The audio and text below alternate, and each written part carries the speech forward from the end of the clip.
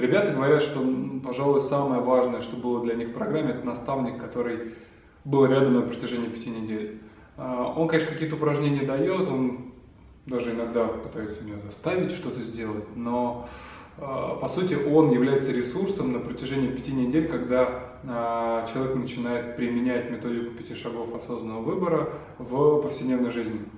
То есть я иду, я встречаюсь с проблемами, я знаю, к кому обратиться, когда я не знаю, что с этим делать. В любом случае, наверное, до этой программы, как в роли наставника, надо дорасти, да, чтобы это действительно стало а, вот такой, ну, как бы потребностью в это окунуться. Просто так, а, в это очень, ну, непонятно зачем, по сути, вгружаться тогда, да, но про, просто так, э, тогда это результат не для тебя, не для а, ребенка, его абсолютно не будет. А, лично для меня, так как я являюсь наставником, а, наставник это тот человек, это такой проводник для подростка, для участника программы Smart Курс, который а, помогает ему увидеть в себе свои таланты, раскрыть себя полностью и найти не совсем свою профессию, а то дело, дело своей жизни – котором он будет полностью раскрываться, в котором он будет счастлив, занимаясь этим.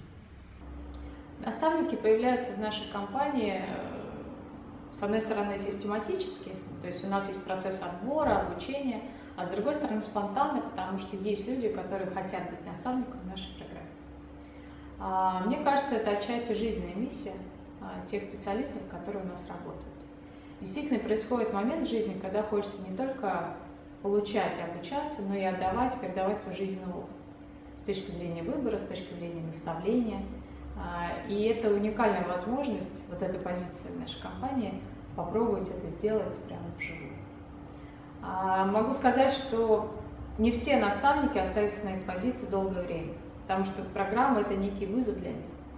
И это тестирование их а, профессиональных компетенций, и это тестирование вообще, подходит ли им эта позиция. Потому что можно быть потрясающим психологом, замечательным педагогом, а, но не подходить на роль наставника.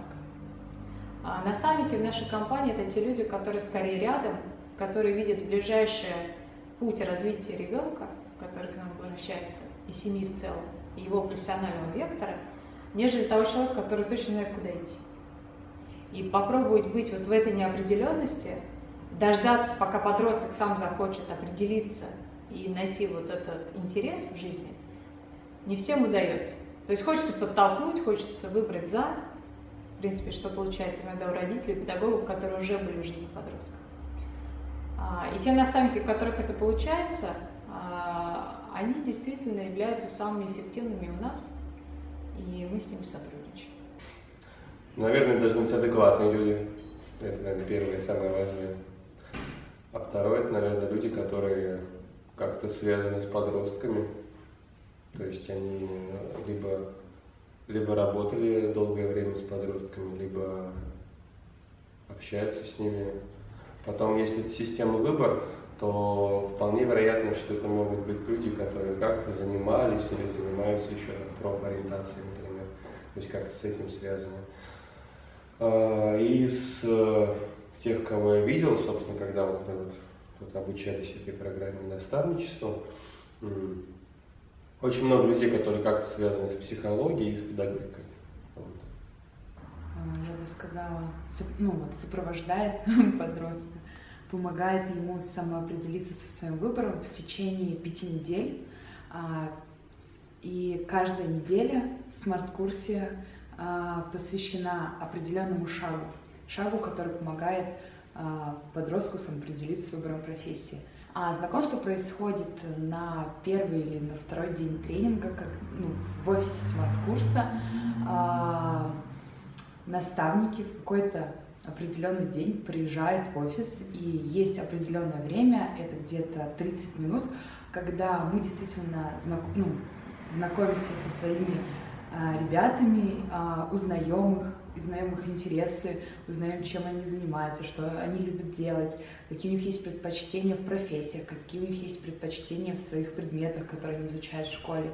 И в этой встрече очень важно действительно наладить контакты, увидеть ну, уникальность э, подростка.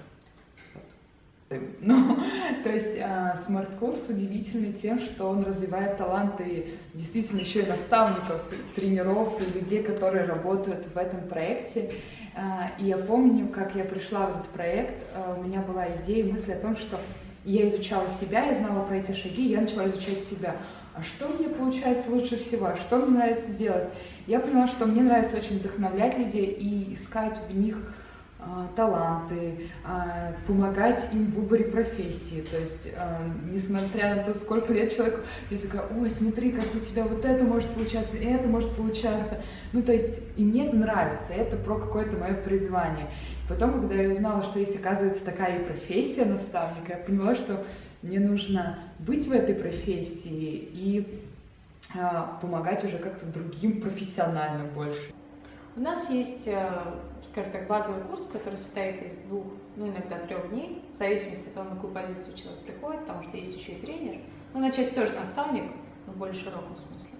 А, там передаются ценности компании, э, ценности и основные представления о том, как мы видим подростковый возраст, как мы видим взаимодействие с родителями, как мы, в принципе, видим э, миссию компании.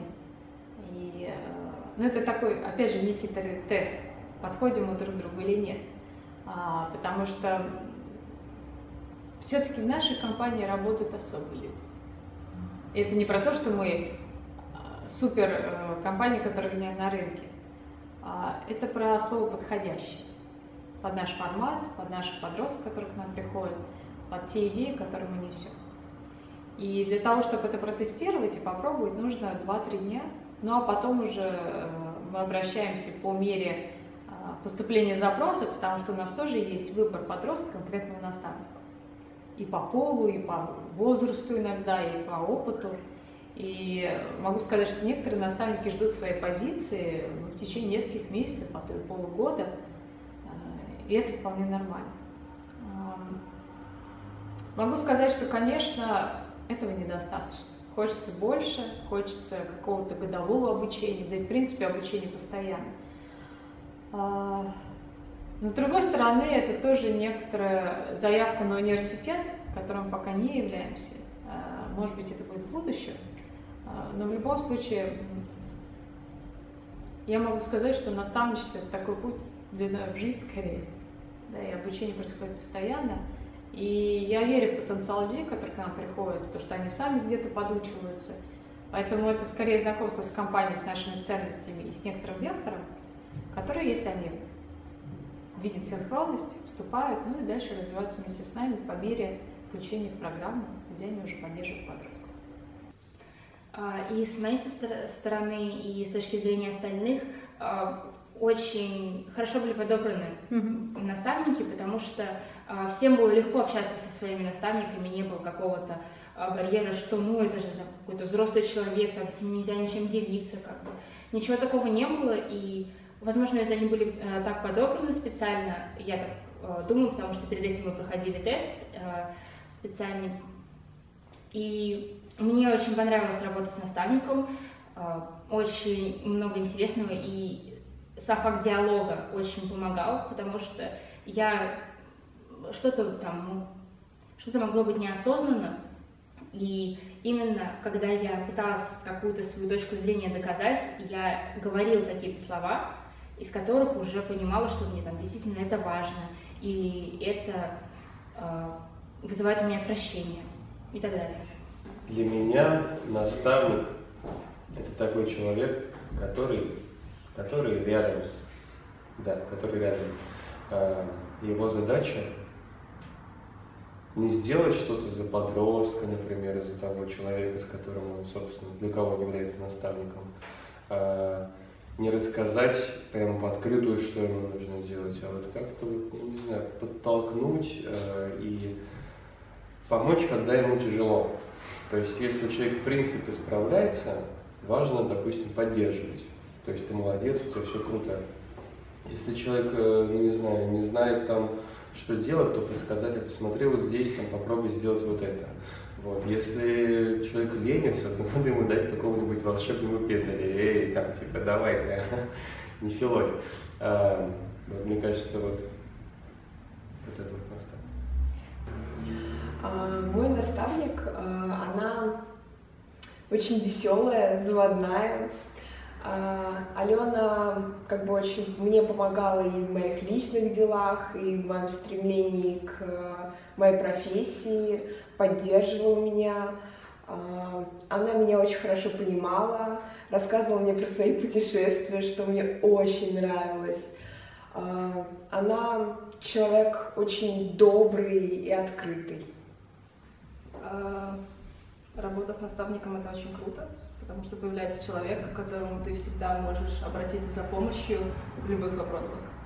И для меня очень важно, что с моим наставником мы до сих пор поддерживаем отношения. Вот буквально вчера мы с ней общались, и э, она подарила мне ну, какой-то новый, не то что новый взгляд на мир, она подарила мне новые впечатления, новые связи, новые события, на которые мы ходили вместе. Э, помимо, то есть помимо общения она дала мне еще какой-то очень-очень ценный опыт, который мне помогает развиваться. Мой наставник, прекрасный человек по имени Аня. Э, мы с ней очень быстро подружились, очень быстро она со мной нашла контакты. Вообще мы похожими очень людьми оказались. Даже у нас день рождения там два дня отличается. У меня второго, у нее четвертого. Вот. Еще по знаку зодиака одинаковый. А, да и, в общем, типы характера очень близки. И мы до сих пор общаемся, и я там хожу на плейбэк, она же занимается плейбэком. Вот. А, а, мы очень хорошо общались с помощью нее, собственно, я и очень, очень благодарен ей, что она меня провела через этот путь.